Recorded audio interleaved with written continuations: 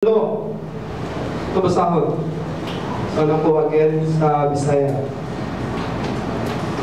Kaya tanan nga nagpakasala, sa walay kasuguan, mga wala usab sa walay kasuguan, ug ang tanan nga nagpakasala, ilalom sa kasuguan, pagahukman sila pinaagi sa kasuguan. E dili ang mga nagpatalingog sa kasuguan mo ay matarong sa tubangan sa Dios.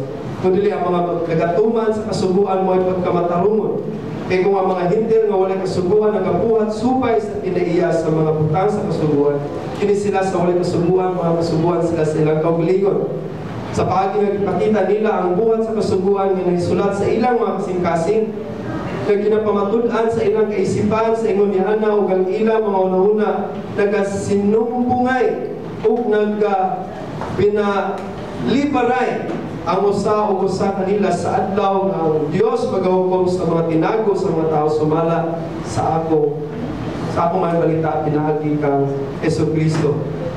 Then, ingon, ignorance of the law will not save the Gentile. Ang pagkawalay kasayuran, kung pagkahibalo sa balaod, dili na mo makaluwas sa mga hintil. Ginoo, kami kibaw sa balaod, kami gisultian dili na magpapaibsod nimo sa paghukom sa Dios. Kay gingon dinhi for as many as have sinned without the law will also perish without the law. Why? Because ignorance of the law excuses no one sa gingon pa. Di ba? For as many as have sinned without the law will also perish without the law. For when Gentiles who do not have the law was left out by nature do the things in the law. This, although not having the law, are allowed to themselves. He said, what? What? Dili direct naghatag yun ang kasuguan sa Diyos.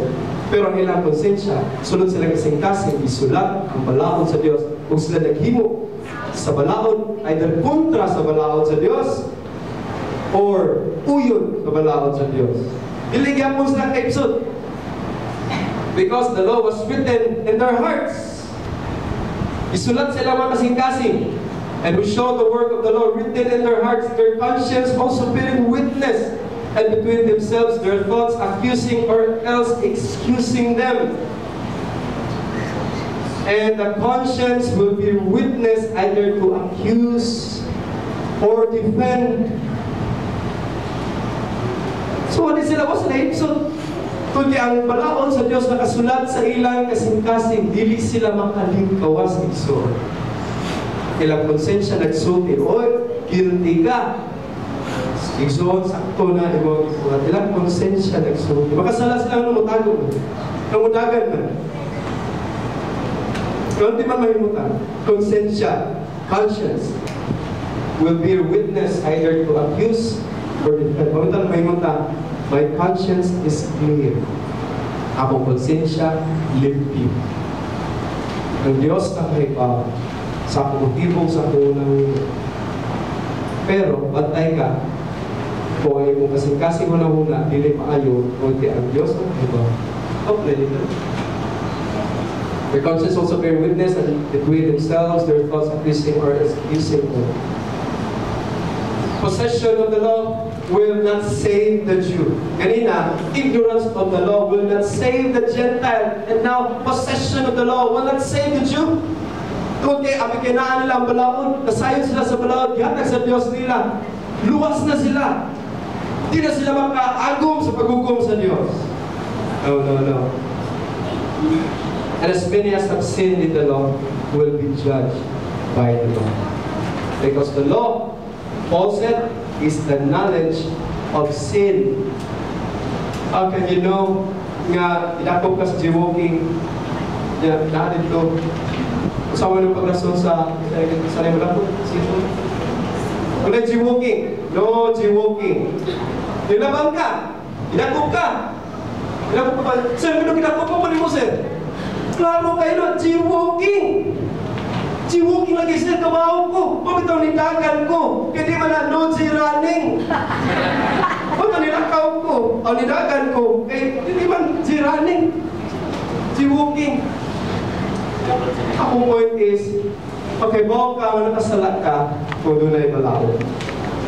Amen ba? Tungkol sa balaod, ikaw guilty. Kung sa balaod sa Diyos, kay isupaklimog na ako, we are all guilty. And obedience to the law will justify both Jew and the Gentile. Batayan na lang po din para sa kanina. For not the hearers of the law are just in the sight of God, but the doers of the law will be justified. Pastor, murag doctrinal error. Dili lagi error. Lahi ang context. Yes, we believe, Galatians 2.16, that by the works of the law, no flesh will be justified in the sight of God. And justification or righteousness apart from the law is revealed through faith in Jesus Christ. Yes, we know that. Pero of course, kini so kini o isulat ni Pablo tungod lagi sa mga Jew o sa mga Hintil. Ang mga Hintil mingus na ano mo tuman ng bisa palaot kinsa man ang Dios. Diyo po si Paul diri ang mamatarong katong nag tuman sa balaod. Dahil ta. Conclusion. In the day of God's righteous judgment, He will judge the secrets of men by Jesus Christ. The secrets of men.